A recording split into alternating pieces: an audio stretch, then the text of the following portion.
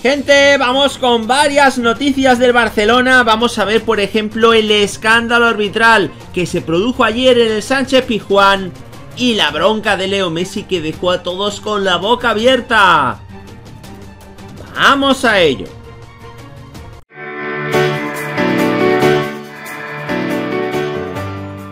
Hola de nuevo chicos, ¿cómo estáis? Bienvenidos de nuevo a otro vídeo para el canal. Vamos a analizar la última hora del Fútbol Club Barcelona. Vamos con varias noticias, por tanto te animamos a que te quedes hasta el final del vídeo, ya que nos dejes un buen like. Vamos sin más dilación a analizar la primera noticia, y es que el Inter de Milán, a pesar de haberse cerrado ya el mercado de invierno, no pierde de vista a Junior Firpo. Durante el pasado verano muchos fueron los rumores que apuntaron a la posible llegada de Junior Firpo al Inter de Milán en medio de una operación por la cual el delantero argentino Lautaro Martínez hubiese acabado vistiendo la camiseta del Barcelona, teniendo así el lateral izquierdo español la oportunidad de volver a sentirse importante después de pasar sin pena ni gloria por el Camp Nou, al que llegó en el verano de 2019 procedente del Real Betis a cambio de 15 millones de euros en una temporada en la que tampoco ha tenido los minutos necesarios. A las órdenes del técnico Ronald Koeman, el futuro de Junior Firpo parece estar más cerca que nunca del Giuseppe Meazza,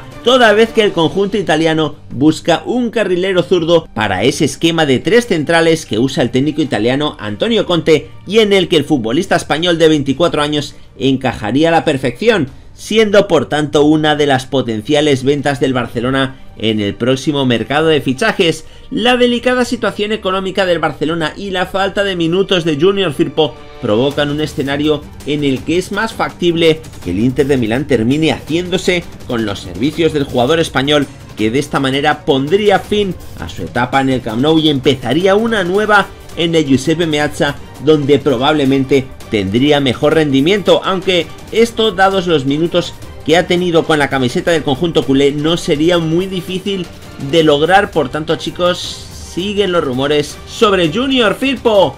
Vamos a hablar ahora de esta siguiente noticia, y es que mantienen al Fútbol Club Barcelona en la puja por el delantero Memphis Depay. Desde que aterrizó en el banquillo del Barça, el técnico holandés Ronald Koeman ha solicitado con cierta insistencia el fichaje de su compatriota Memphis Depay.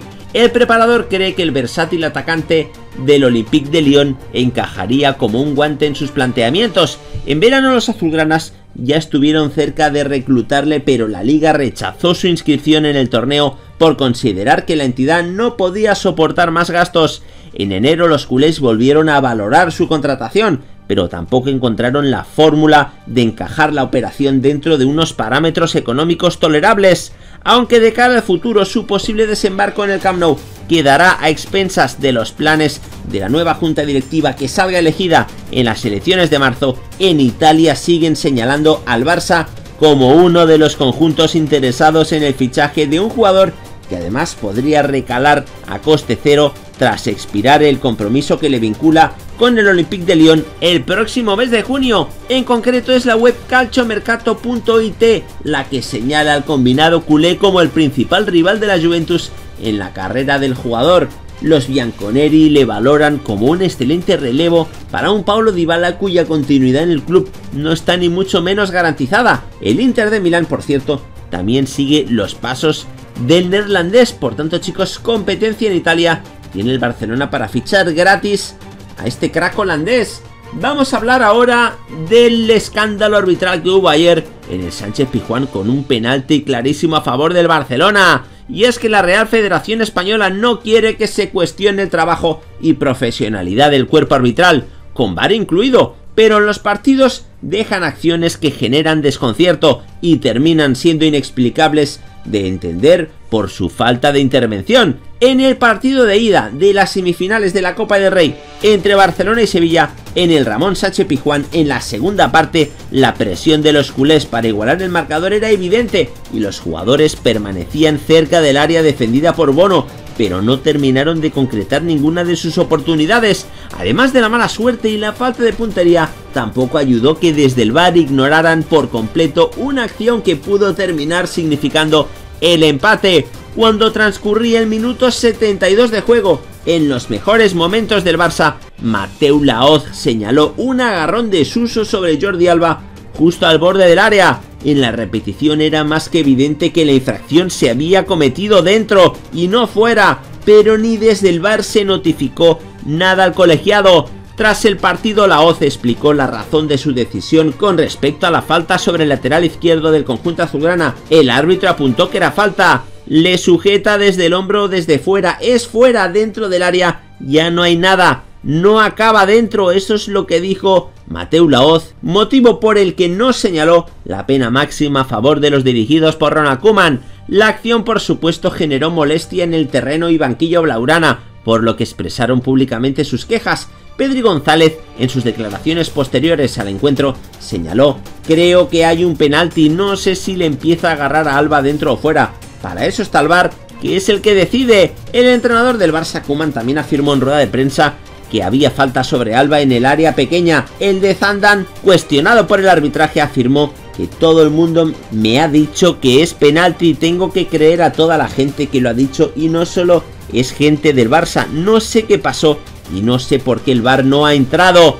Como penal o no, la realidad es que el Barcelona tuvo mucho tiempo para intentar una nueva remontada y le faltó el espíritu y fe que había mostrado el equipo ante el Granada y el Real Betis en las últimas semanas. A diferencia de esos partidos el Barça no estuvo tan enchufado, pero también por el planteamiento del Sevilla y los cambios que implementó Julen Lopetegui con el marcador a favor en la segunda parte. Ahora los culés quedan en una situación más que delicada y habrá que conseguir una remontada épica que no será nada fácil por el gran nivel que ha demostrado el club de Nervión. Por tanto chicos, nuevo escándalo arbitral, esta vez en la Copa del Rey. Y es que aquí podéis ver chicos en este tuit del Fútbol Club Barcelona como el agarrón clarísimo del jugador del Sevilla Jordi Alba es claramente dentro del área y para el árbitro que estaba enfrente de la jugada lo señaló fuera y el VAR además no intervino, por tanto nuevo escándalo arbitral. Vamos para finalizar chicos a hablar de Leo Messi y la bronca que tuvo ayer sobre el terreno de juego y es que en una acción de una falta favorable a los culés, Joan Jordán tuvo un cara a cara con Leo Messi tras una falta del argentino que le hizo un caño. El centrocampista del Sevilla que se quedó con la pelota en la mano agotó la paciencia del 10 Messi, en su objetivo por recuperar el esférico, empujó a su rival y sin intención dio con el brazo a su adversario que cayó al suelo. Mateu Laoz, en su objetivo por poner paz, calmó los ánimos.